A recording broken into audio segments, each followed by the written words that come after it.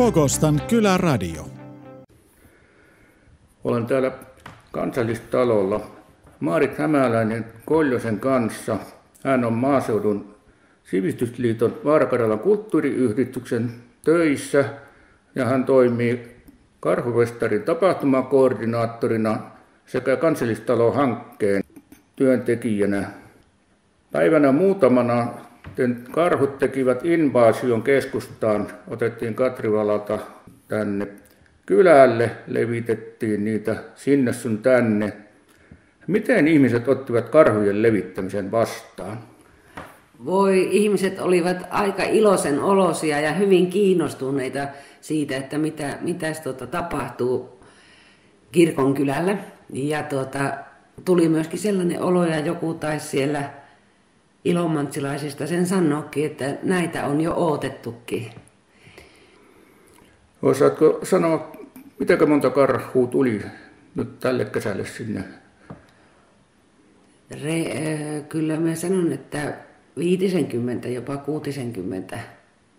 Siellä taisi olla joukossa, että olisiko ollut joku vanhempikin, mutta useita kymmeniä.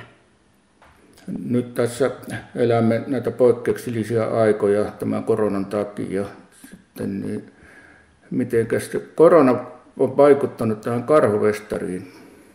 Tuota, korona on vaikuttanut sillä lailla, että meillähän oli jo hyvin pitkälle tehyt suunnitelmat festarin toteuttamisesta, mutta sitten ollaan herkellä korvalla kuunneltu valtioneuvoston ja THL-ohjeita ja ollaan tehty tuota, suunnitelma B ja nyt ollaan jo menossa suunnitelmassa C.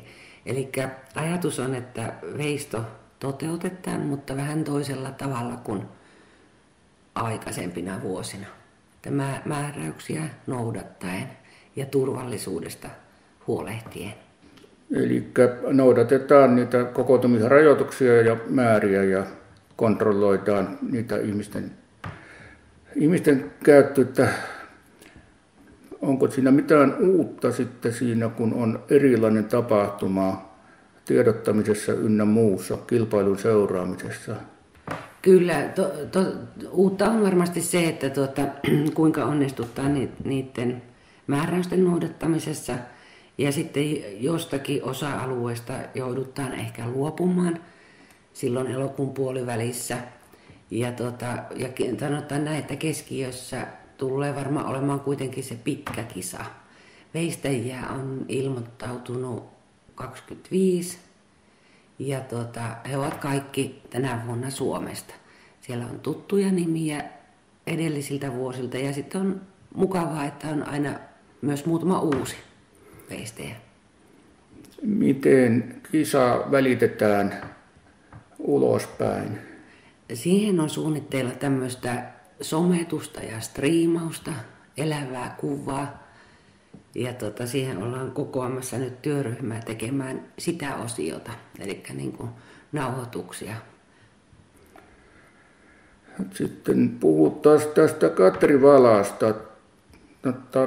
Minkälainen näyttely on Katrivalalle tulossa tänä vuonna? Siellä tota, Katrivalalla on tänä vuonna perusnäyttely, Katrivalasta kertova näyttely ja sitten tota, uutena asiana on vuoden 2020 itse-taiteilijaksi valitun Paula Huhtasen Iloismi-näyttely. Teokset ovat jo Ilomantsissa ja tuossa juhannuksen jälkeen tulee sitten taiteilija näyttelyään tuota, ripustamaan ja rakentamaan ilomantsilaisten avustamana. Tästäpä mennään ihan sujuvasti kansallistalolle. Sinä olet tätä kansallistalon hanketta ollut toteuttamassa.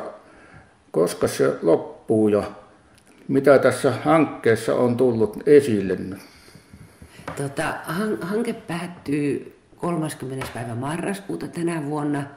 Jos on tarvetta, niin ehkä kuukausi jatkoaikaa haetaan sille, koska hanke alkoi kuukautta myöhemmin kuin oli alun perin suunniteltu. Ja tuota, siinähän on tavoitteeksi asetettu muun muassa se, että tähän kansallistalolle saadaan toimijoita. Ja tällä hetkellä tilanne on se, että oikeastaan yhtään niin kuin tämmöistä pitkäaikaista tilaa, jonka voisi antaa uudelle toimijalle käyttöön, niin ei ole, että on, on talo on aika lailla täynnä mukavasti ja sitten syksyllä on suunnitelmia, että taloon tulee vielä muutaman toimija lisää, että heille on varattu tiloja. Että ehkä tuota pientä varastotilaa voisi löytyä. Ja pääkäyttäjänähän talossa on Ilomantsin kunta, kansalaisopisto ja lukuisat eri ryhmät, joukaa, musiikkia, teatteria, luentoja ja tämän tyyppistä toimintaa. Että tota, vapaita aikoja tos, toki niin kuin salissa on pitkin vuotta ja nimenomaan viikonloppuisin mahtuisi ehdottomasti lisääkin tapahtumia ja tilaisuuksia. Ja, ja tota, eli tämä talon toiminta ja sitten koulutuskuviot on kuulunut olennaisena osana siihen kansallistalohankkeeseen ja siellä on tota, teemana ollut muun muassa tuotteistaminen ja markkinointi.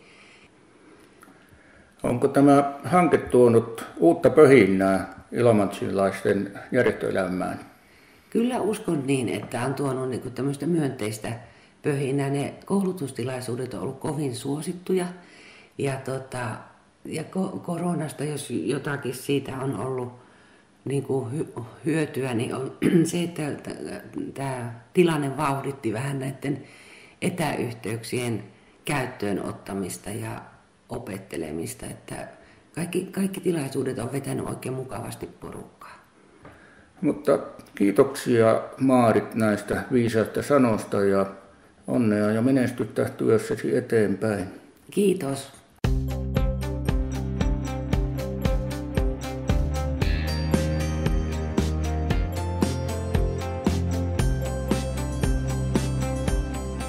Pogostan kyläradio.